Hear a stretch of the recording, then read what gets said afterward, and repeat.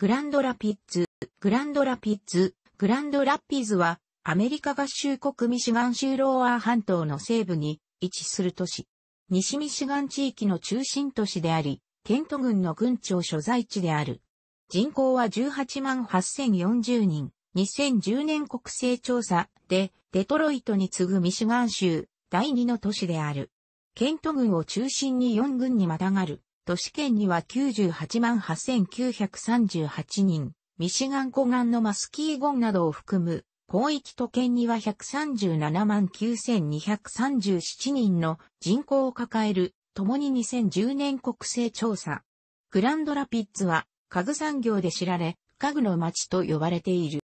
グランドラピッツは第38代大統領ジェラルド・アール・フォードゆかりの町である。フォードはグランドラピッツで少年期を過ごし、ベティ・ブルーマーと出会った。2006年の暮れに死去したフォードは、グランドラピッツの大統領博物館の敷地内に埋葬されている。グランドラピッツの玄関口となる空港、ジェラルド・アール・フォード国際空港はフォードにちなん、名付けられた。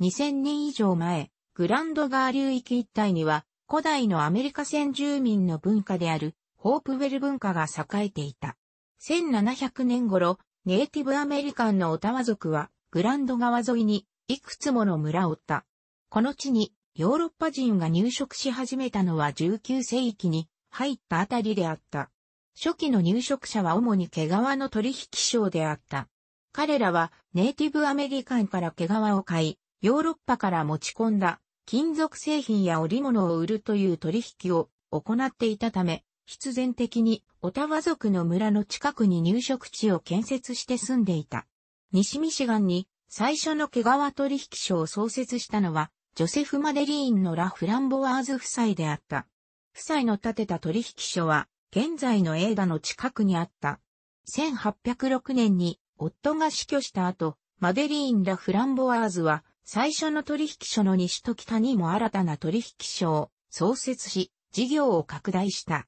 その後フランボワーズの会社とアメリカ毛皮会社は合併した。フランボワーズは41歳で退職し、西ミシガンを離れてマキナック島に移り住んだ。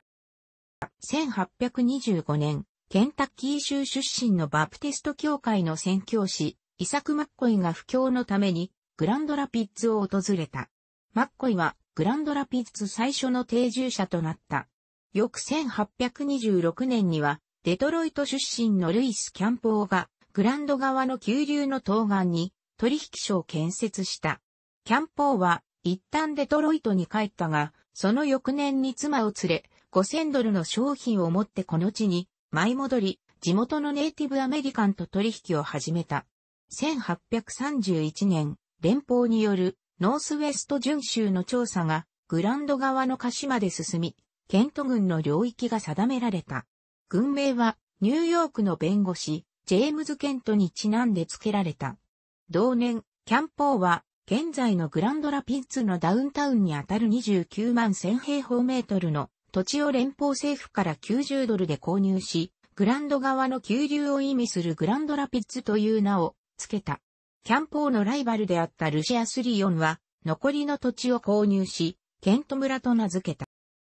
1830年代に入ると、グランドラピッツ一帯にはニューヨークやニューイングランドから人が移り住んでくるようになった。1836年にはジョン・ボールはデトロイトを通り越してグランドラピッズに発展の可能性を見出し、この地を The promised land, or at least the most promising one for my operations、将来を約束された地、少なくとも私の手掛けた中では最も将来性のある地と評した。1838年には正式な村となり、村域も東西、南北それぞれ約 1km 程度に広がった。1845年に初めて正式な統計が取られた時には、グランドラピッツの人口は1510人を数え、村域も4京平方メートルに広がっていた。1850年5月1日には市政を施行した。市政施行時の人口は2686人であった。1857年にはグランドラピッツの市域は27京平方メートルに広がった。現在のグランドラピッツの町の基礎が築かれたのは19世紀後半に入ってからであった。この頃、グランドラピッツは製材業と家具産業の中心地として栄えていくようになり、ファニチャーシティ、家具の街と呼ばれるようになった。1876年にフィラデルフィアで開かれた国際展示会では、グランドラピッツは高品質な家具を生産する街として世界中にその名を知らしめ、また、この頃に始まった全米家具誌は1960年代に至るまで75年間にわたって開かれていた。現在では事務用家具の生産が中心になっている。また、19世紀にはこの地にオランダ系の移民が大量に移入してきた。現在、グランドラピッツに多く住むオランダ系住民の多くは、この頃に移入してきた移民の子孫である。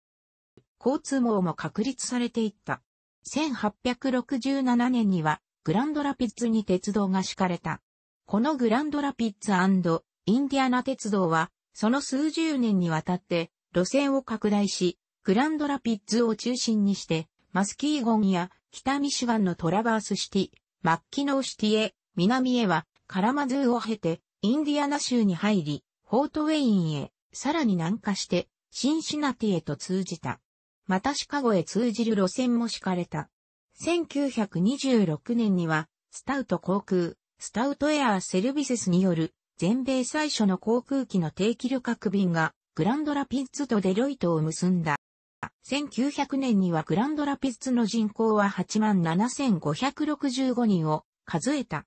1916年、市はミシガン州法のホームルールチャーターを受け入れ、全米でも最初の部類に入るシティマネージャー制を採用し、現在でもグランドラピッツの姿勢はシティマネージャー制が取られている。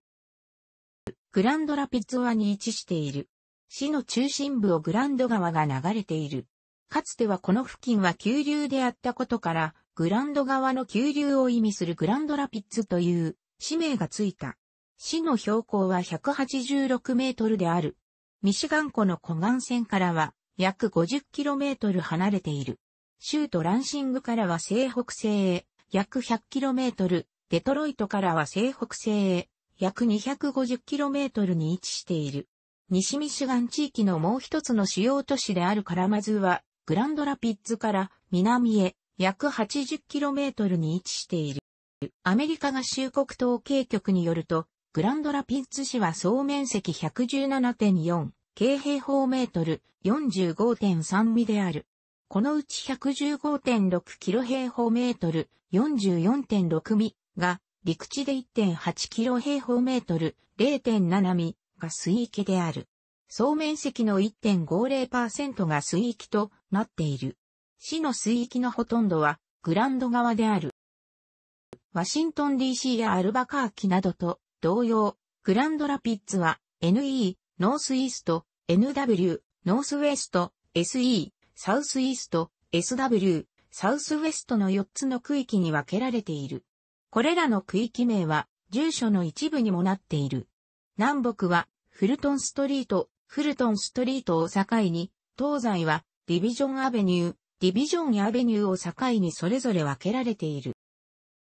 グランドラピッツの気候は寒い冬と涼しい夏に特徴づけられる大陸性の気候である。最も暖かい7月の平均気温は摂氏22度、最高気温の平均は摂氏28度で、日中でも摂氏32度、下氏90度を超えることは少ない。最も寒い1月の平均気温は氷点下摂氏4度、最低気温の平均は氷点下摂氏8度で、日中でも摂氏0度に達さない日が続く。降水量は1年を通じておおむね平均しているが、冬季の12月から3月にはやや少ない。また、グランドラピッツはカナダからの寒気が湿気を増すミシガン湖の風下に位置しているため雪が多く、12月から3月にかけては月間20から55センチメートル程度の降雪見られる。年間降水量は約 980mm、年間降雪量は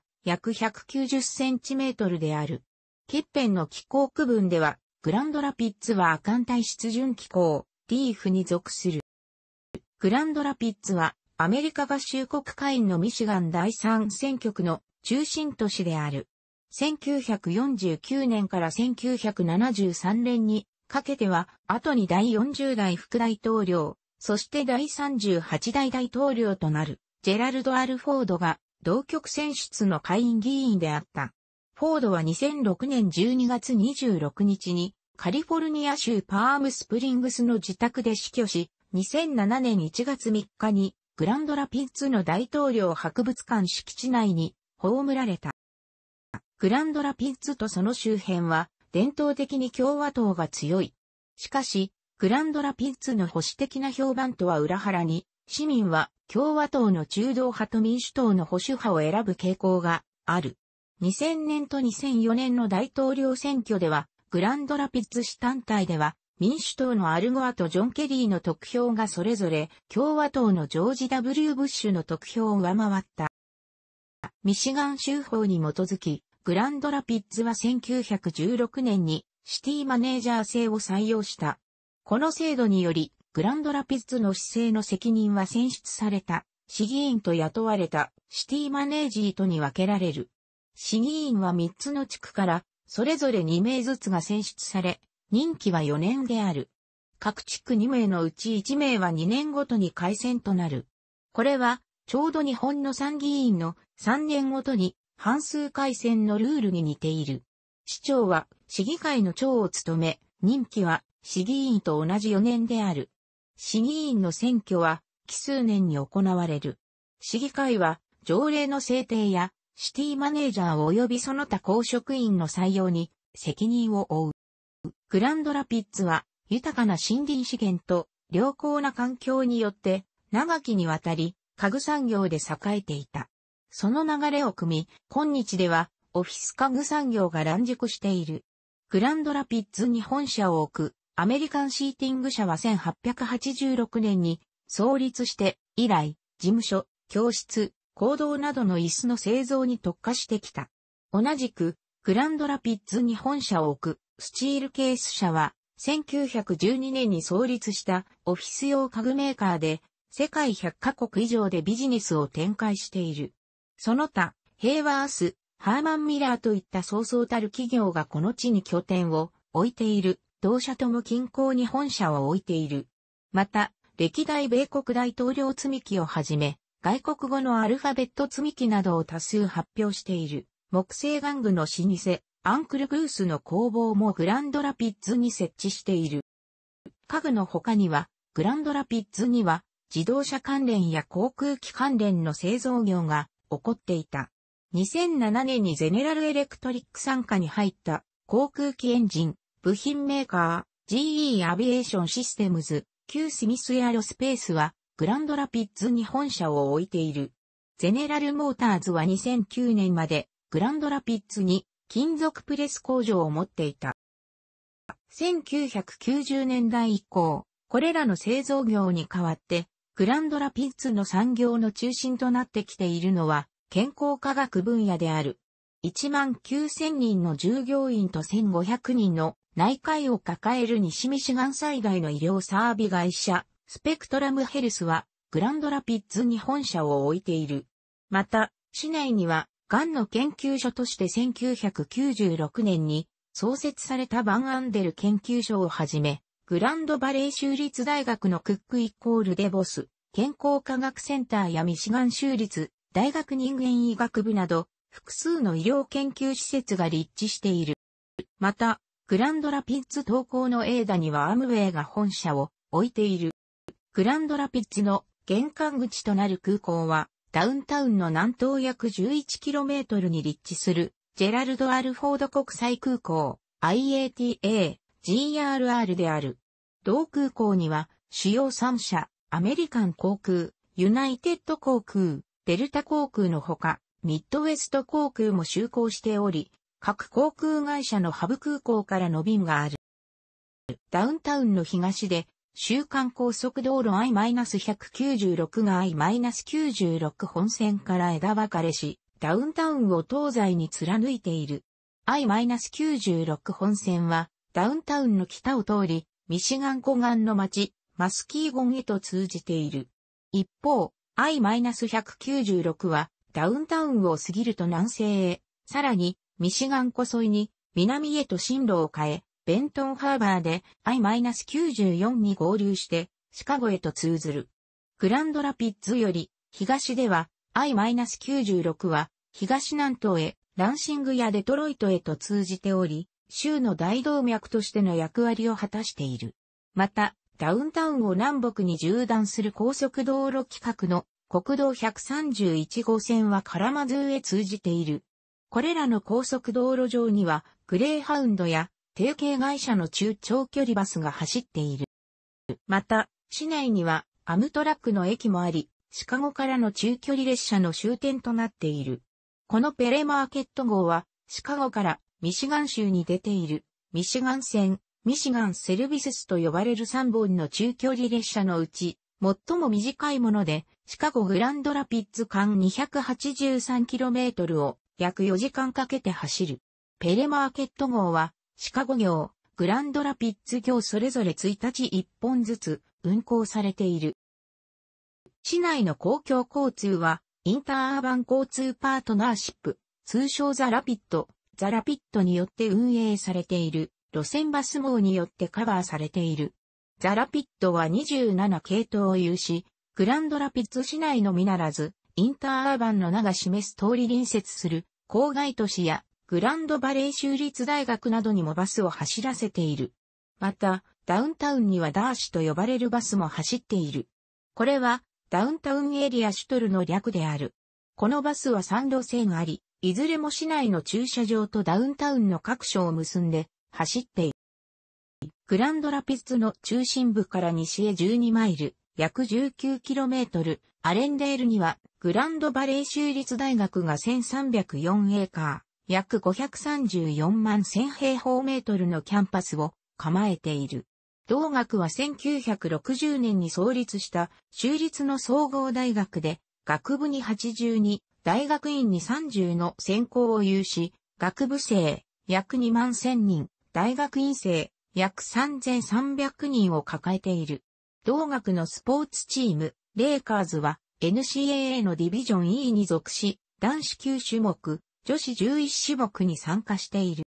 グランドラピッツの市内には、全米のリベラルアーツカレッジの中で、上位120位以内に入る評価を受けている、公明に、ジャン・カルバンの名を冠した改革派協会系のカルバン大学をはじめ、カトリック系のアクイナス大学、グランドラピッツ神学校を併設する無宗派のコーナストーン大学、根元主義系のグレース聖書大学、アブラハム・カイパーの名を公明に関した改革派教会系のカッパー大学といったキリスト教系のリベラルアーツカレッジ5校がキャンパスを構えている。グランドラピッツの K1 2課ほどはグランドラピッツ公立学区の運営する公立学校によって主にカバーされている。同学区は約1400人の教師を要し、約1万7000人の児童、生徒を抱えている。グランドラピッツのダウンタウンに位置するローザパークスサークル、ロサパークスサークルは南部における公民権運動の引き金となったモントゴメリーバスボイコット事件で知られるザ・パークスにちなんで名付けられている。周囲にはアムウェイグランドプラザホテルやデボスプレイスコンベンションセンター、多目的屋内競技場であるバンアンデルアリーが立っている。この3つの建物はスカイウェイ、スコヨウェイと呼ばれる屋内連絡通路でつながっている。冬には、ローザパークスサークルには、アイススケートのリンクが設けられる。市内を流れるグランド側には、魚道や遊歩道が設置されている。また、川沿いには、ホープウェル族が土葬を行った塚が並んでいる。また、市の西側には動物園を有するジョンボールパークがある。市の北東にはグランドラピッツの街並みを見下ろすベルクナップヒルの丘が連なっている。グランドラピッツは西ミシガンの文化の中心でもあり、博物館、美術館も数多く立つ。1854年に開館したバンアンデルミュージアムセンター、グランドラピッツ公立博物館は、全米でも、際の部類に入る博物館の一つである。同館はグランドラピッツとその周辺地域の歴史に関する展示物を常設展示しているほか、イベントとして世界の様々な歴史的展示物を展示している。また同館はプラネタリウムも併設している。同館は1994年にグランド川西岸の現位置に建てられた。ダウンタウンの北西部に立つジェラルド・アルフォード大統領博物館は、フォードの大統領在任中の歴史や、フォード夫妻の人生のハイライトに関する事物を展示している。他の大統領博物館とは異なり、ジェラルド・アルフォード大統領博物館は大統領図書館を併設していない。ジェラルド・ R・フォード大統領図書館はアナーバーにあるジェラルド・ R・フォードの母校、ミシガン大学のキャンパス内に建てられている。大統領博物館の敷地内には2006年末にカリフォルニア州パームスプリングスの自宅で死去したフォードが埋葬されている。ダウンタウンに立地する都市現代美術館、 Urban Institute for Contemporary Arts は、美術作品を展示するのみならず、映画館を併設し、さらに塑造制作スタジオも併設している。グランドラピッツ美術館は、ダウンタウン、ローザパークスサークルの南東に隣接して立っている。同館は19世紀20世紀の芸術作品を、はじめ、デザインや写真などを常設展示している。また、同館は図書館を併設しており、アメリカ州やヨーロッパの絵画、彫刻、写真、デザインやモダニズムに関する書物を所蔵している。ダウンタウンの東に位置する国家歴史登録財にも指定されているヘリテージヒル地区には1000件を超えるビクトリア朝の歴史的建造物が立ち並んでいる。中でも有名なのはフランク・ロイド・ライトが1908年に設計した地元商人、メイヤー・メイの家である。メイの家は1985年にスチールケース社によって修復され、無料の博物館になっている。ヘリテージヒル地区よりさらに東には、グランドラピッツを代表する歴史的建築物の一つである、ウェルシーストリートシアターがある。1969年にアレクサンダー・カルダーがバンデンバーグプラザ、バンデンバーグプラザにラ・グランデビテス、LA、グランドビテスというスタビル、抽象彫刻を制作してから、グランドラピッツのダウンタウンでは、毎年芸術祭が開かれている。6月最初の週末、バンデンバーグプラザ周辺の道路は通行止めとなり、フリーコンサートや芸術実演、販売など芸術に関連したイベントが取り行われる。このほか、バンデンバーグプラザでは夏季期間中いくつもの民族祭が開かれる。グランドラピッズの夏は、レーバーデーの週の週末、 Celebration on the Grand をもって終わる。同イベントでもフリーコンサートが行われるほか、西ミシガン最大の花火大会が行われ、出展も出る。セレブレーションオンザグランドの運営はすべて、ボランティアによって賄われている。運営資金は、企業からの講演や、個人の寄付によって集められている。またボランティアスタッフの販売による収益も運営資金に充てられる。1973年、グランドラピッツのメインストリートアメリカでは、スカルプチャーオフザペダストル、歩道の外の彫刻と題したイベントが開かれた。世界的に有名な13人の芸術家を集めて行われたこのイベントは、その名の通り道の脇に彫刻を制作、展示したものである。同イベントは、国の芸術支援協会による資金面での支援や、州の芸術局にいる教育面での支援を取り付けると、共に個人レベル、企業レベル、業界レベルでの協力も得た。各種イベントの収益も運営資金に充てられた。ボランティアによる運営や地元住民による芸術家への宿の提供などは、このイベントが地域に密着して行われたことを伺わせるものであった。グランドラピッツにはメジャープロスポーツのチームこそ置かれていないが、下部リーグのチームが2つ置かれている。デトロイトタイガース参加のマイナーリーグ A クラスの野球チームウェストミシガンホワイトキャップスは北郊のコムストックパークに立地するフィフスサードボールパークを本拠地にしている。また、デトロイトレッドウィングスと提携しているアルのグランドラピッズグリフィンズはダウンタウンに立地するバンアンデルアリーナを本拠地としている。毎年5月にはフィフスサード銀行がスポンサーとなって、フィフスサードリバーランという市民マラソン大会が行われる。この大会では 25km、10km、5km の3コースでレースが行われる。また、5から13歳の子供を対象としたジュニア部門では 5km、1マイル、1.6km、1、2マイル、800メートルの3コースで行われる。メインとなっている 25km のレースでは、無差別のオープン部門のほか、体重別や年齢別の部門もある。また、25km と同じコースで、車椅子、ハンドサイクルのレースも行われる。5km のコースでは、通常のレースのほか、ローラーブレードやスケートボードでの参加や、犬を連れての参加なども可能なフリースタイルの散歩部門もある。グランドラピッツの都市圏及び広域都市圏を形成する各軍の人口は以下の通りである。2010年国勢調査。以下にグランドラピッツ市における1850年から2010年までの人口推移をグラフ及び表で示す。グランドラピッツは以下5都市と姉妹都市提携を結んでいる。楽しくご覧になりましたら、購読と良いです。クリックしてください。